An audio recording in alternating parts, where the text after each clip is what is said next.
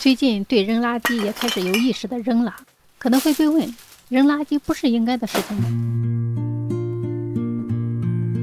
是的，扔垃圾看似是理所当然的事，对你如此，并不是对所有人都是如此。家里堆积垃圾总是一件不好的事情，有人有可能没意识到，也有可能明明知道就是嫌麻烦而搁置。这是一种什么心理活动呢？今天就是想说说扔垃圾的事情。就如刚才说的，扔垃圾是一件理所当然的事，即便是幼儿园的孩子都知道的事情。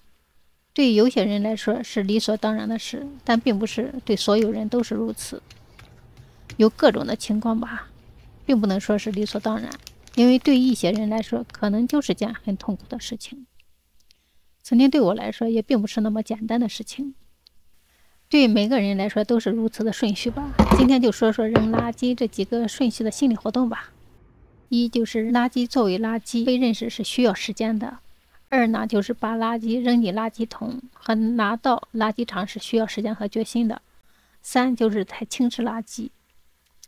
下面就深挖一下这三个顺序的心理暗示吧。一，垃圾作为垃圾被认识是需要时间的。为什么有那么多不需要的东西留着呢？有可能用，还能用，应急用等等理由。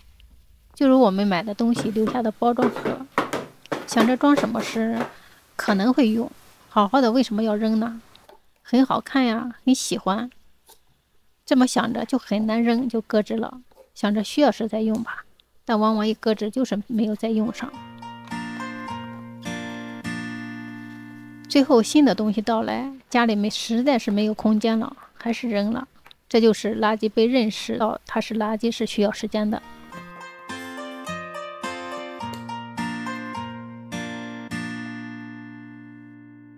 还有就是用旧的牙刷，想着呢打扫卫生用，结果就是囤了很多。这种东西，很多人的家里是不是都是如此呢？不管是化妆品、鞋子、衣服等等，如果不能用了，作为垃圾马上扔就扔了；如果想着还可能用，就先放着，等有时间时再说，等等。而收纳起来看不到就忘记了，这样日复一日，家里的不利索、不整洁就是不能改变。二，垃圾作为垃圾拿到垃圾场是需要时间和决心的。这是每天感受的事情，已经是垃圾的东西，把它扔到了垃圾桶，但总想着等垃圾满了再扔到垃圾场。特别是在日本，垃圾分类是非常折腾人的事情，资源垃圾、剩垃圾、再利用垃圾、瓶子、易拉罐的、纸张的等等都得分开。垃圾袋没满就不是很想扔，觉得很浪费垃圾袋。如果不会发出臭味的东西，就更容易囤积，想着满了再扔。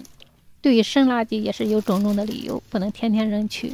假如说没有装满，浪费垃圾袋而不扔；满了，如果不出门，嫌麻烦，不想为了扔垃圾而下楼。即便需要出去，有可能为了赶时间而没有能去扔垃圾。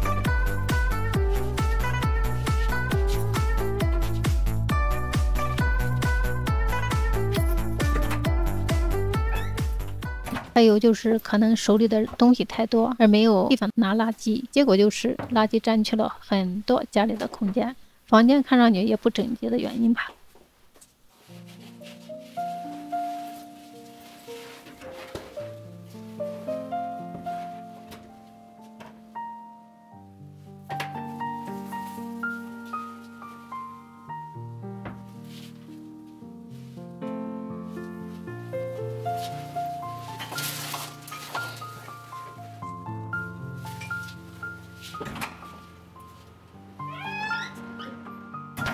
记得有一期视频，我说我家在利用的垃圾呢，都是拿到超市的回收桶。是的，这样利用去超市的是顺手带去的，的确节省了家里放它们的地方。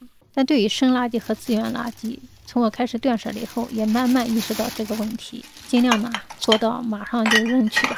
三，轻视垃圾，即便是扔垃圾的日子，如果这天不出门，就是不想为了扔垃圾而出门，想着出门时再扔。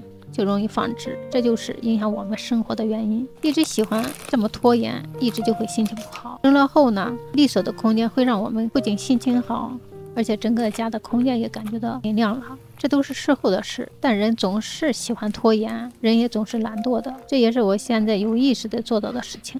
每天扔垃圾就如断舍离那些已不屑的东西一样，囤积着就会给家造成不整洁。做一点就会好一点，想着行动就会不一样。这就是我现在有意识继续给家里做断舍离的心情。